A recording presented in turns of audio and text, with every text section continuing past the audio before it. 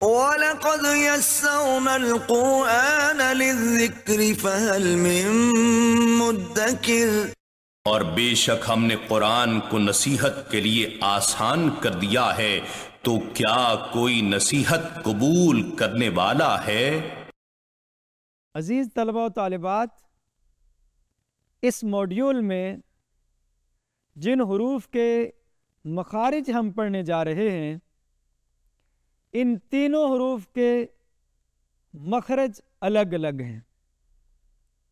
इनका ताल्लुक ज़ुबान और तालु के साथ है। जो इस स्लाइड में आपको आखिरी हरफ नज़र आ रहा है खौफ नुक्तों वाला, इस तरतीब के साथ मैं इसको बयान करना चाह रहा हूँ ताकि आपके लिए समझना आसान हो जाए। जो खौफ नुकतों वाला है, इसका मखरज है ज़ुबान की जड़ और मुकाबिल का तालु। इसको थोड़ा आसान कर दूँ।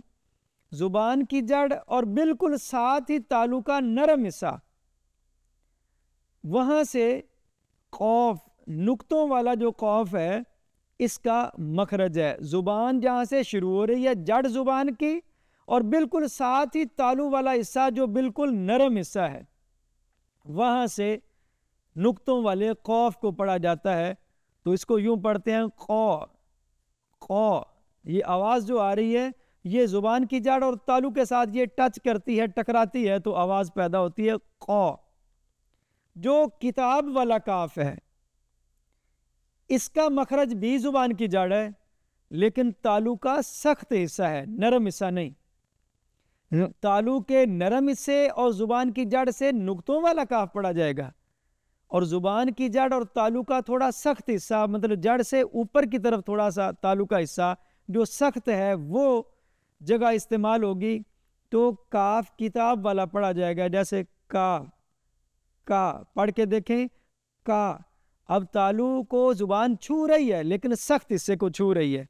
ज़ुबान की जड़ ही तालू के सख्त हिस्से से टच होती है।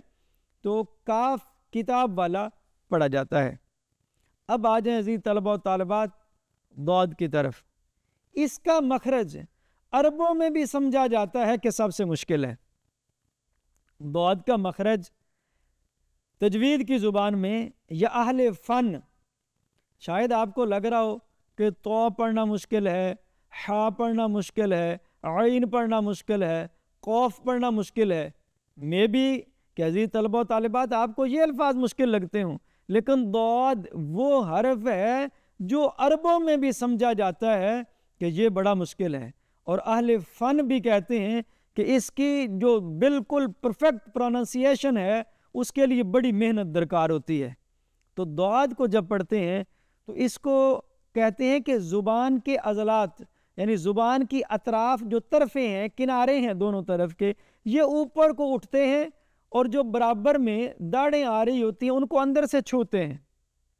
कामिल तरीन मखरज ये है कि ज़ुबान की अतराफ़ ऊपर को उठें और दाढ़ों को अंदर से छुएँ तो इसका कामिल मखरज है।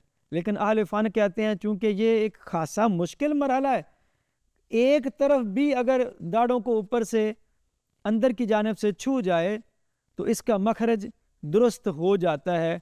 जैसे वो वो पढ़ के देखेंगे तो ज़ुबान फूल कर ऊपर चली जाती है और तालू को जाके टच करती है दाढ़ों को अंदर वाली जानब से।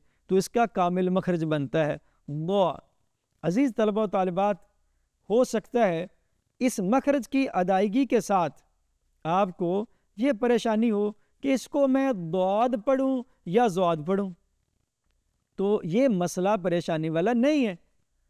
ये बिल्कुल परेशानी वाला मसला नहीं है। असल में अहल फ़न जो तजवीद वाले हैं, वो इसके साउंड का एतबार करने की बजाय इसके मखारज का एतबार करते हैं कि मुँह के किस हिस्से से किस हरफ को पढ़ना है, उसका ख्याल होना ज़्यादा ज़रूरी है। तो आपने इसका मखरज दुरुस्त करना है कि ज़ुबान आपकी ऊपर को उठ के दाढ़ों की अंदर वाली जानब को टच करे, फिर साउंड आपका दौद निकले, साउंड आपका जौद निकले चूँकि ये दोनों तरह के साउंड मौजूद हैं और दोनों साउंड पढ़े जाते हैं तो वो जो साउंड है, वो तो आपका इलाकाई भी हो सकता है। वो फैमिली में जो साउंड पढ़ा जा रहा है, वो भी हो सकता है। आपने जिस टीचर से नाजरा पढ़ा, वो साउंड भी हो सकता है। तो साउंड आपका बखैर कोई भी निकले, ये मैटर नहीं करता। असल मैटर ये बात करती है कि आपकी ज़ुबान की अतराफ ऊपर को उठ के दाढ़ों को अंदर से छुएँ तालू वाली जानब को तो इसका मखरज दुरुस्त हो जाएगा। दो तो फिर आपका माना दुरुस्त रहेगा। और फिर, अज़ीज़ तलबा तालबात, अगर कुरान पाक पढ़ते हुए कहीं भी किसी लफ्ज़ की, किसी हर्फ की अदाई करने में मुश्किल हो रही हो, कैसा साउंड बनेगा, कहाँ से इसको पढ़ेंगे तो बड़ा आसान मसले का हल है। आसान हल ये है कि हरमैन शरीफैन यानी मक्का और मदीना, जहाँ कुरान नाजिल होता रहा। और नबी पाक सल्लल्लाहु अलैहि वसल्लम ने भी फरमाया कि कुरान को कुरैश के लहजे में पढ़ो। और बाद में से कराम ने भी यही अहतमाम किया कि मुख्तलफ़ अतराफ़ में, कबाइल में जब इस्लाम फैल गया तो मुख्तलिफ़ लहजों में लोग पढ़ने लगे अपने अपने लहजों में पढ़ने लगे। तो फिर किरात कुरैश पर इकट्ठा कर दिया कि जिस लहजे में कुरान पाक नाजिल हुआ है। नबी पाक सल्लल्लाहु अलैहि वसल्लम का जो लहजा था, वो कुरैश का लहजा था। और अब भी अरबों के पास हरमैन शरीफैन में मक्का और मदीना में जो किरात चलती है, ये कुरैश का वो ही लहजा है, जिस लहजे में कुरान नाजिल हुआ था। तो आप हरम शरीफ के किसी ख़तीब से, किसी कारी से बड़ी आसानी से कुरान पाक काबा शरीफ के आयमा का पढ़ा हुआ मिल जाता है। मस्जिद नबी के कारियों का पढ़ा हुआ कुरान मिल जाता है। तो उनके साउंड के साथ अपने साउंड को मैच कर लें तो बड़ी आसानी के साथ ये मुश्किल भी हल हो जाएगी कि आपने किस लफ्ज़ का साउंड क्या बोलना है और उसमें परफेक्शन कैसे हासिल करनी है। तो परफेक्शन आप में आनी है मखारिज का लिहाज करके।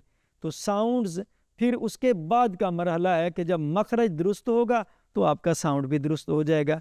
अलबत् कोई दौद पड़ता है या जौद पड़ता है तो इसमें इतना को आ, मसला नहीं है कि आपके मानी ही चेंज हो जाएँ या उसमें कोई और ऐसा आ, मसला पैदा होता हो ऐसी कोई बात नहीं है।